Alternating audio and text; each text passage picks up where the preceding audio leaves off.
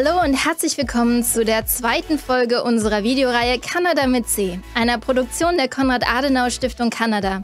Mein Name ist Annika Verkines, ich bin die Projektmanagerin der CAS Kanada hier in der ha kanadischen Hauptstadt.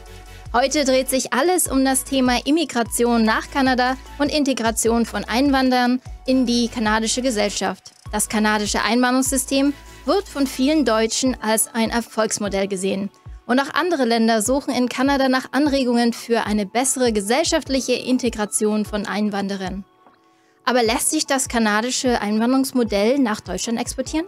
Diese und andere Fragen wird Dr. Norbert Ashbourne, Leiter der CAS Kanada, unserem heutigen Gast Professor Oliver Schmidtke im Interview stellen. Professor Schmidtke ist Politikwissenschaftler und Professor in den Abteilungen für Geschichte und Politikwissenschaft an der Universität von Victoria. Seit 2006 hat er den Jean Monnet-Lehrstuhl für europäische Geschichte und Politik inne. Von 2005 bis 2008 war er Direktor des European Studies Program. Und von 2004 bis 2006 amtierte er als Präsident der European Community Studies Association Canada. Seit 2012 ist er auch Direktor des Zentrums für globale Studien an der Universität von Victoria. Seine Forschungsinteressen liegen in den Bereichen der vergleichenden europäischen Politik und Zeitgeschichte, der europäischen Integration, der politischen Soziologie, von Immigration und ethnischen Konflikten sowie der Rolle von Identitäten und kollektivem Gedächtnis in modernen Gesellschaften. Und jetzt gebe ich an Norbert weiter. Herr Professor Schmidtke, Sie sind seit vielen Jahren in Kanada beruflich tätig als Deutscher. Sie kennen das Land sehr gut. In Deutschland werden Fragen von hoher gesellschaftspolitischer Relevanz ja immer mit einem stark ideologischen Unterton behandelt. In Kanada hingegen vermittelt sich mir der Eindruck, dass ein besonnener Pragmatismus vorherrscht. Ist das richtig? Würden Sie das auch so sehen? Mit Ihrer Frage bezeichnen Sie einen Sachverhalt, der mich tatsächlich überrascht hat, als ich nach Kanada kam. Weil Kanada ist eine Gesellschaft, die sehr große Mengen an Immigranten aufnimmt und sich dem Multikulturalismus verpflichtet hat. Und nichtsdestotrotz ist die hiesige Diskussion, wie Sie es in Ihrer Frage beschrieben haben, durch einen starken Grad an Pragmatismus charakterisiert. Was man kaum findet, äh, sind stark emotional aufgeladene Diskussionen über die mögliche Bedrohung äh, von Migranten äh, mit Blick auf nationale Identität oder soziale Integration. Und das ist weitgehend einem Konsens in der kanadischen Gesellschaft zuzuschreiben, dass Immigration als etwas Positives, als etwas angesehen wird, dass die, der Volkswirtschaft, der Gesellschaft als Ganzer zuträglich ist. Und dieser breite Konsens in, äh, in gewisser Weise erlaubt es gar nicht, diese ideologisch aufgeladenen und mit Emotionen besetzte Diskussion ähm, über Immigranten und deren Potenzial der Bedrohung ähm, zu, zu haben. Sie haben sich seit langem mit Fragen der Einwanderung beschäftigt und dazu auch umfangreich publiziert. Und vor diesem breiten Erfahrungshintergrund können Sie mir sicherlich die Frage beantworten, die mich schon lange umtreibt. Was ist eigentlich ein Einwanderungsland? Ein Begriff, der ja in Deutschland sehr leichtfertig verwendet wird. Äh, kann man den auf Deutschland und Kanada in gleicher Weise übertragen oder nicht? Wie so häufig im Bereich der Migration sind diese Begriffe auch politisch besetzt. Und äh, diesem Begriff der Immigrations- oder Einwanderungsgesellschaft werden verschiedene Bedeutungen zugemessen. Am einfachsten wäre es einfach, Immigrationsgesellschaft mit dem Erfahrungsgrad mit Zugewanderten zu beschreiben. Also wie viele Leute kommen äh, in eine Gesellschaft. Und dort äh, hat Deutschland mittlerweile Werte, die, äh, die, die Rate an derer, die zugewandert sind, liegt bei 15,7 Prozent in der deutschen Gesellschaft.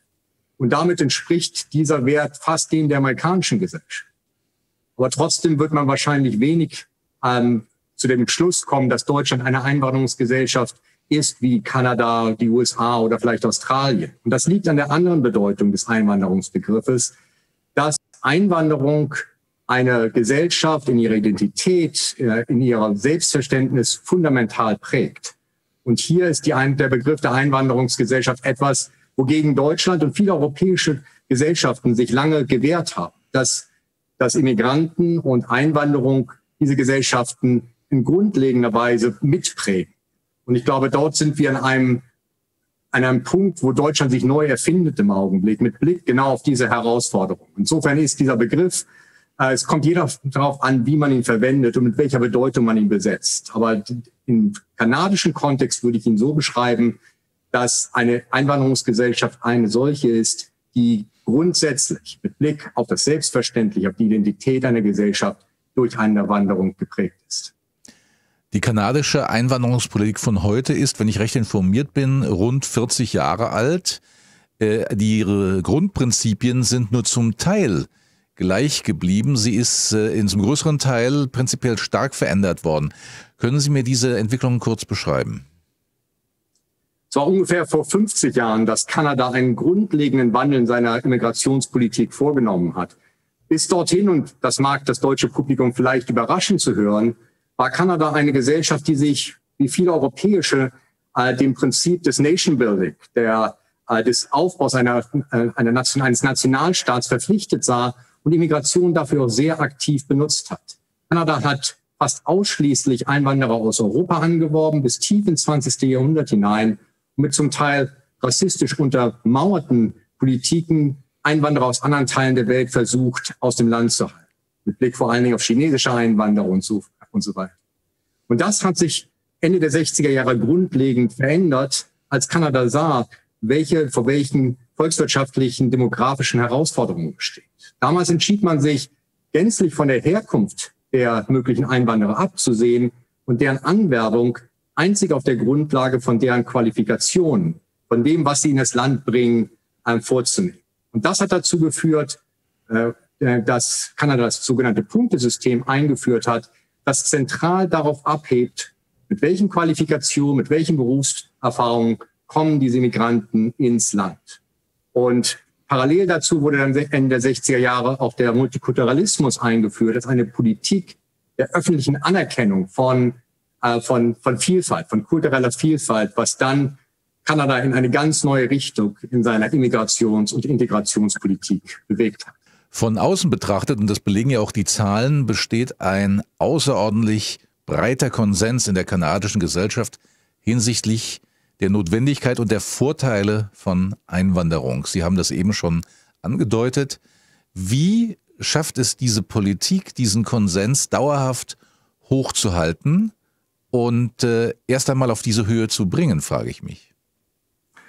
Ja, und das ist, ist erstaunlich zu sehen, wie stabil diese Werte sind, die Sie gerade beschrieben haben. Trotz Wirtschaftskrisen, terroristischer Anschläge, all dessen bleiben diese Zustimmungsraten in der Gesellschaft relativ hoch. Das hat mit einer ganzen Reihe von Gründen zu tun. Das eine ist, dass es Kanada auch unter der Vorgabe des Multikulturalismus über die letzten Jahrzehnte sehr gut verstanden hat, neue Kohorten an Einwanderern in die Gesellschaft erfolgreich zu integrieren. Das heißt, dass ähm, Immigranten häufig auch hochrangige Positionen belegen, erfolgreich sind im Erziehungssystem, im Arbeitsmarkt und so, insofern als gleichberechtigte Mitbürger wahrgenommen werden. Äh, das kann man gar nicht unterschätzen, wie stark dieses äh, Bild des Immigranten in Kanada eben nicht durch das Bild, das in Deutschland noch weit verbreitet ist, ähm, des, äh, des Gastarbeiters geprägt ist, sondern häufig durch sehr hochqualifizierte Immigranten. Der zweite Punkt in dieser Hinsicht besteht darin, dass in der politischen Elite ein weitgehender Konsens darüber besteht, die negative Darstellung von Immigranten, gerade mit dem starken Bedrohungspotenzial, nicht öffentlich ähm, zu benutzen und für politische äh, Zwecke zu benutzen. Wir haben praktisch in Kanada keine rechtspopulistische Partei, die diese negative äh, Darstellung äh, von Migranten in der Öffentlichkeit für ihre politische Zwecke benutzen würde. Und dadurch hat man einen breiten Konsens, der praktisch alle ähm, wesentlichen Parteien mit einschließt. Und ich glaube, dieses starke, diese starke Verpflichtung auch der politischen Elite des Landes hat dazu geführt, dass es diesen breiten auch gesellschaftlichen Konsens gibt. Unter den Einwanderern klassifiziert man bestimmte Gruppen. Sie schreiben das in Ihren Publikationen. Und die größte davon, statistisch gesehen, sind die sogenannten Economic Immigrants, so werden sie bezeichnet. In Deutschen würde man versucht sein, bei oberflächlicher Übersetzung, diesen Begriff zu assoziieren mit dem, was man in Deutschland äh, Wirtschaftsflüchtlinge nennt und diese Gruppe so stigmatisiert. Aber im kanadischen Kontext bedeutet doch Economic Immigrants etwas völlig anderes, oder? Tatsächlich haben diese Economic Immigrants gar nichts mit Flüchtlingen zu tun. Das bezeichnet diese Gruppe, die, die auf der Grundlage ihrer Erfahrung, ihrer Ausbildung, ihres Alters ähm, sehr bewusst rekrutiert wird und nach Kanada gebracht wird. Das Punktesystem hatte ich ja eben schon angesprochen. Und ähm, Kanada hat versucht, diese Rekrutierung von Immigranten aus der ganzen Welt mit Blick auf seine eigenen volkswirtschaftlichen Interessen bewusst zu steuern. Das heißt nicht, dass das nicht verändert wurde, aber diese 60 Prozent der jetzt angeworbenen Immigranten kommen über dieses Punktesystem oder über ein System, das auf der Grundlage der Auswahlverfahren der Provinzen vonstatten geht, mit Blick auf deren ähm, Kompatibilität in den Arbeitsmarkt, äh, deren volkswirtschaftlichen Nutzen ins Land. Und das ist das Kernstück der kanadischen Migrationspolitik, zu sagen, wir suchen diese Leute sehr bewusst danach aus, mit Blick darauf, was sie mitbringen, an Erfahrung, an, an, äh, an, an, an Ausbildung, an Fähigkeiten. Zum Teil wird da verlangt, dass ein bereits bestehender äh, das Angebot im Arbeitsmarkt besteht, oder zum Teil werden sie auch über das Punktesystem mit Blick auf ihre ähm, Fähigkeiten, die in verschiedenartig eingesetzt werden können, ins Land gucken. Können Sie uns ein paar Beispiele für die Sichtbarkeit von Immigranten in der kanadischen Gesellschaft geben, die wir so nicht erwarten würden? Immigranten sieht man auch in der deutschen Öffentlichkeit. Was in Kanada auffällt, äh, für mich ist, dass, ähm, dass Menschen mit einem, wie man in Kanada sagt, uh, Visible Minority Status, also die sichtbaren Minderheiten, einen relativ prominenten äh, Platz auch in der Öffentlichkeit bei den wirtschaftlich, politisch, kulturellen Eliten ein. Das heißt also, dass prominent an prominenter Stelle Menschen mit anderem Hintergrund, mit, mit offensichtlicher Immigrationserfahrung einen breiten Raum in der kanadischen Öffentlichkeit einnehmen. Beispielsweise der, der Führer der sozialdemokratischen NDP, Jagmeet Singh, ist, äh, gehört der Gruppe der, ähm, der, äh, des Sikh an und tritt mit einem häufig sehr offenkundigen Turban, mit einem bunten Turban in der, in der Öffentlichkeit auf. Das ist ein Zeichen der, der Präsenz von diesen Visible Minorities. Das gleiche Michael Jean vormals repräsentierte die, die englische Queen äh, in der Öffentlichkeit. Diese Personen normalisieren den Begriff dessen, was kulturelle Vielfalt, was die Präsenz von diesen Immigranten in der Öffentlichkeit ausmacht. Wenn Kanadier den Platz ihres Landes in der Welt definieren, sagen 59 Prozent, dass dabei der Begriff der Einwanderung sehr wichtig ist. Und wenn sie gefragt werden, welche Werte Kanada in der Welt fördern sollte, dann sind ihnen Inklusivität, Fairness und Gleichheit sehr wichtig. Wie bewerten Sie das? Das zeigt, dass der Multikulturalismus nicht nur einfach eine von oben aufoktroyierte Politik ist. Am Anfang wurde der Multikulturalismus ein wenig verlacht, dass es Minderheiten erlaubt hat, ihre kulturellen Praktiken, ihre Feste zu feiern. Aber über die letzten Jahrzehnte hat dieser Multikulturalismus sich auch zu einem politischen Ethos, wenn Sie so wollen, entwickelt. Die Verpflichtung auf diese Prinzipien, die Sie beschrieben haben, Gleichberechtigung, Fairness, ähm, das prägt die Innenpolitik, aber auch das Bild das Kanadier von ihrer Nation in der internationalen Community haben. Und so ist es kein Zufall, dass Justin Trudeau jetzt als Premierminister sich auf feministische ähm, Grundsätze verpflichtet sieht, auch in seiner ähm, Außenpolitik, Menschenrechte, ähm, Gleichberechtigung, Fairness. Das projizieren Kanadier auch nach draußen und sagen, so möchten wir wahrgenommen werden. Wir sind stolz darauf, was wir als multikulturelle Gesellschaft geschaffen haben.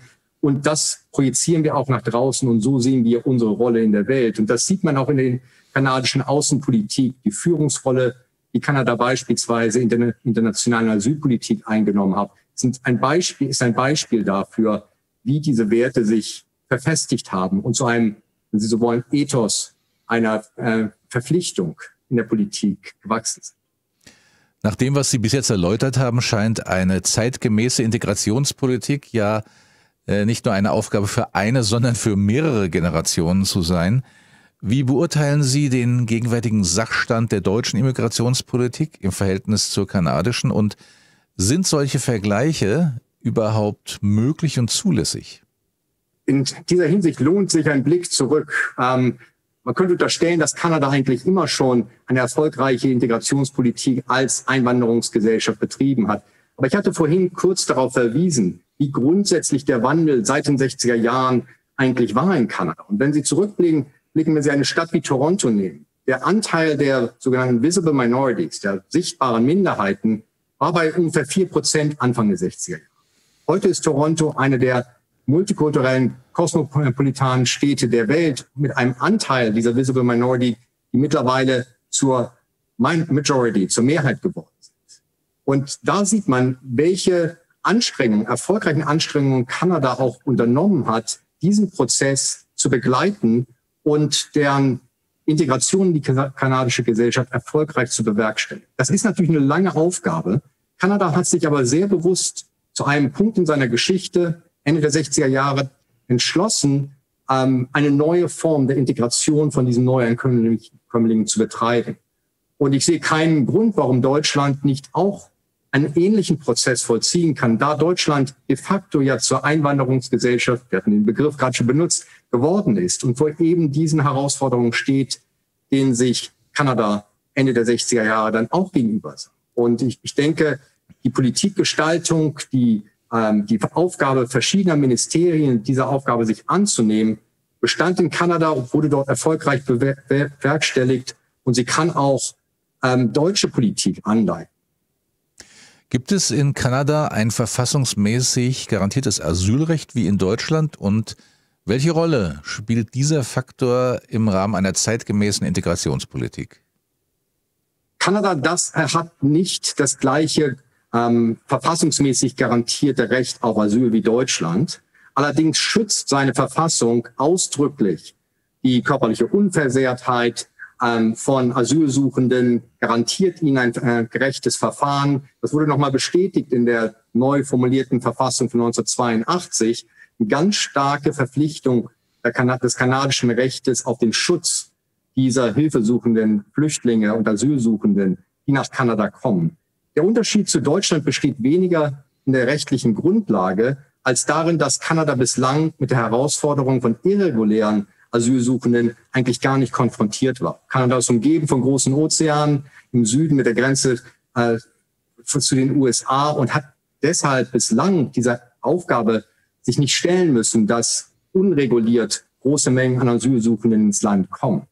Das hat sich in den letzten Jahren ein wenig geändert und es gibt eine große Debatte, was genau dieses verfassungsrechtliche, äh, diese Verpflichtung des Schutzes von Asylsuchenden bedeutet, wenn das politische Klima sich in Amerika tatsächlich ändert, sind Zehntausende äh, Asylsuchende aus Amerika nach Kanada gekommen und Kanada sah sich zum ersten Mal mit einer ähnlichen Aufgabe konfrontiert, wie Deutschland das in dramatischer Weise 2015, 16 gesehen hat.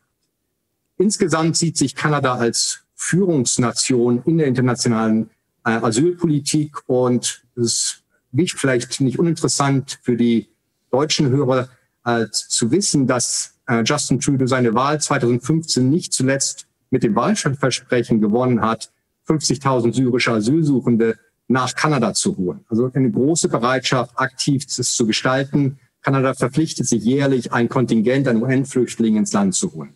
Das ist die Situation aber nicht unbedingt vergleichbar mit dem, äh, womit Deutschland sich konfrontiert sah. Stellen Sie sich vor, man würde Sie als Regierungsberater für Einwanderung in Deutschland anheuern.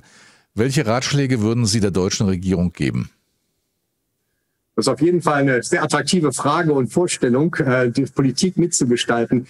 Das Erste, was ich sagen würde, ist, dass Deutschland ähm, ein modernes und in seinen Ehrgeiz äh, angemessenes äh, Einwanderungsgesetz braucht. Wir haben ein Einwanderungsgesetz in Deutschland, das aber nicht erlaubt, wie in Kanada, auf relativ hohem, hohem Niveau und fortgesetzt relativ ähm, gut ausgebildete Immigranten auszuwählen und ins Land zu bringen. Äh, Deutschland sieht sich demografischen und volkswirtschaftlichen Herausforderungen gegenüber, die denen Kanadas von vor 40, 50 Jahren ähnlich sind. Und ich denke, Kanada, Deutschland wäre gut bestellt, langfristig zu planen und zu sehen, auf welcher Grundlage können wir Migranten auswählen und ins Land. Die zweite Komponente ist, ist mit Sicherheit eine erfolgreiche Integrationspolitik. Und hier könnte Kanada tatsächlich als Vorbild, als Beispiel dienen, gerade mit Blick auf die Integration von Neuankömmlingen ins Erziehungswesen, in den Arbeitsmarkt. Ähm, ich glaube, diese gleichberechtigte Inklusion ist ein zentrales Element, äh, Einwanderung erfolgreich zu gestalten. Und ich, glaube, dass gerade in dieser Hinsicht in Deutschland noch einiges an Nachholbedarf äh, besteht, wenn man tatsächlich den Weg gehen möchte, den Kanada vor 40, 50 Jahren eingeschlagen. Vielen Dank an Professor Schmidtke und Norbert. Die Fragen des heutigen Interviews basieren auf einer Studie der CAS Kanada, geschrieben von Professor Schmidtke, mit dem Titel Das kanadische Immigrations- und Integrationsregime, ein Model für Deutschland. Vielen Dank auch an Sie, liebe Zuschauerinnen und Zuschauer, dass Sie zugeschaltet haben. Wir hoffen, dass Sie heute viele interessante Fakten zum kanadischen Immigrationssystem kennengelernt haben und freuen uns schon darauf, Sie in der nächsten Folge von Kanada mit See wieder begrüßen zu dürfen. Falls Sie schon jetzt mehr über Kanada erfahren möchten, finden Sie lesenswerte Beiträge auf unserer Homepage. Vielen Dank und bis zum nächsten Mal.